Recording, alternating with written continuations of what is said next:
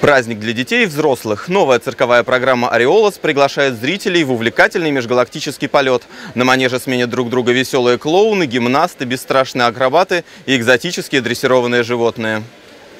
Ивановцы увидели поистине мировую премьеру. Первое представление состоялось в субботу. Держать зрителя в напряжении все два часа нелегко, но цирковые справились. За счет высококлассного оборудования, авторской музыки и, конечно, безупречного таланта артистов. На то, чтобы притворить идею в жизнь, цирковому коллективу потребовался целый год. Это вот то, что э, сегодня необходимо зрителю. Я думаю, что мы будем иметь с этим проектом большой успех. Вот. Э, и сегодняшний зритель нам это, наверное, покажет, Ивановский. И очень приятно, что именно в Иваново мы стартуем. Вместе с артистами зрители поднимаются на космический корабль. Футуристичные костюмы, лазерное сопровождение и оригинальные декорации создают атмосферу межпланетного полета. Манеж наполняется представителями цивилизаций из разных галактик и созвездий. Никогда еще ивановцы не были так близки к Сатурну, Венере и туманности Андромеды. Цирк новый стал, интересный, здесь приятно находиться, а это премьера мировая, как мы слышали. То есть здесь ожидаем очень много интересного, эффектного. Пришли всей семьей. Пусть удивят. В прошлый раз меня удивили. Когда было шоу «Воды и огня», я была удивлена, приятно. Надеюсь, в этот раз буду удивлена. Цирк – это, как, не знаю, какой-то запах детства, не знаю, поэтому ребенка привела, как бы привела. Каждый раз сюда приходим, очень нравится, поэтому ну, это как-то запах такого действительно детства. Ореолос, уверены авторы программы, понравится и взрослым, и детям. В повествование вплетаются как сложные с точки зрения исполнения цирковые номера, так и развлекательные клоунские забавы. Не обошлось и без традиционного обливания зрителей из водных пистолетов.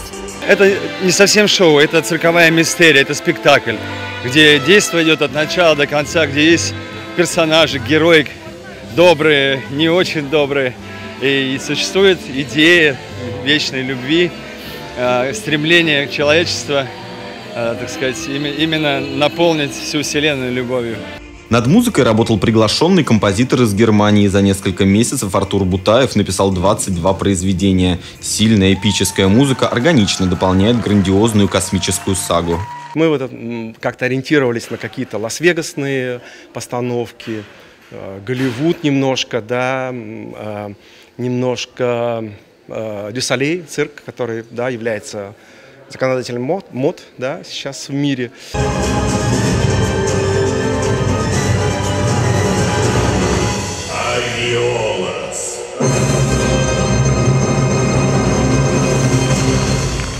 Особенность музыки в том, что она тонко проникает в зрителю.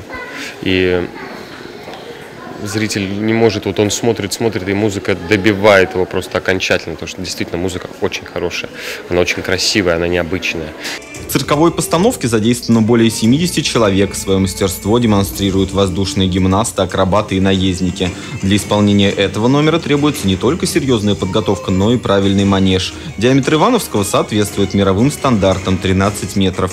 Это необходимо, чтобы спина лошади постоянно находилась под одним углом к центру манежа. Я преподношу Пегаса, это летающий конь на железных крыльях. Он будет со мной танцевать, я буду его объезжать. То есть это такая дикая амазонка, которая создает атмосферу э, острова, на котором находятся, короче, летающие кони и так далее. Купить билет на борт межпланетного корабля и ощутить волшебство нового циркового шоу ивановцы смогут до 15 октября. Максим Серебряков, Денис Денисов, РТВ Иваново.